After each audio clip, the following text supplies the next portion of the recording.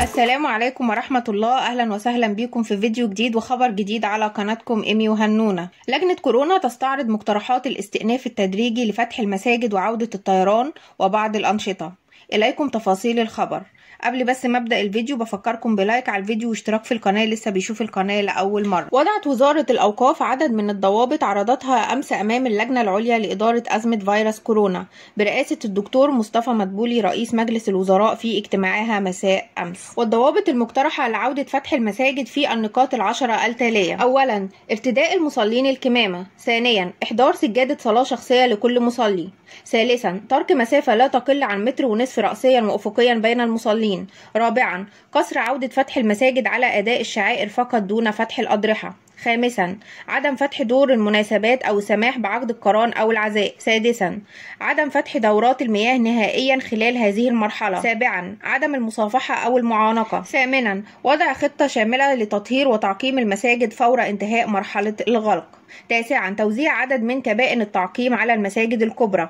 عاشرا وأخيرا توزيع 320 ألف متر سجادة صلاة جديدة للمديرية وكانت اللجنة العليا لإدارة أزمة فيروس كورونا برئاسة الدكتور مصطفى مدبولي رئيس مجلس الوزراء استعرضت في اجتماعها مساء أمس مقترحات عدد من الوزارات للاستئناف التدريجي للأنشطة في الجهات التابعة لها. وكذلك ضوابط العودة التدريجية لإقامة الشعائر الدينية بدور العبادة. وحضر الاجتماع وزراء الدفاع والإنتاج الحربي الأوقاف السياحة والآثار التموين والتجارة الداخلية التربية والتعليم والتعليم الفني.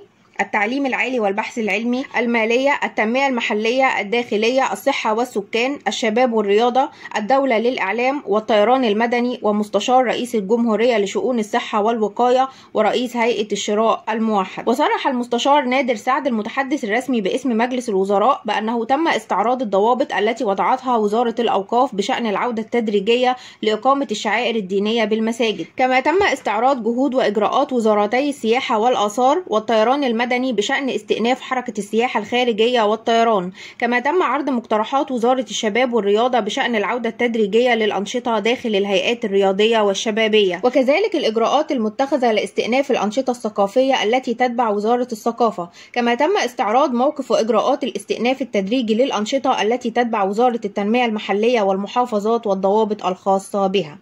وقال المستشار نادر سعد في ضوء متابعة المستجدات سيتم خلال الاجتماع المقبل للجنة الإعلان عن الخطة التدريجية لعودة الأنشطة المقترحة مع التأكيد على التزام المواطنين بإجراءات التعايش مع فيروس كورونا وما تتضمنه من ضوابط احترازية. وبكده يكون انتهى الخبر بتاعنا النهاردة. انتظروني إن شاء الله في أخبار تانية جديدة على قناتكم إيمي وهنونة. والسلام عليكم ورحمة الله وبركاته. لو عجبك الفيديو ما تنساش تتفرج على الفيديو ده وكمان الفيديو ده وتعمل اشتراك للقناة وتفعل زر الجرس عشان يوصلك. كل جديدنا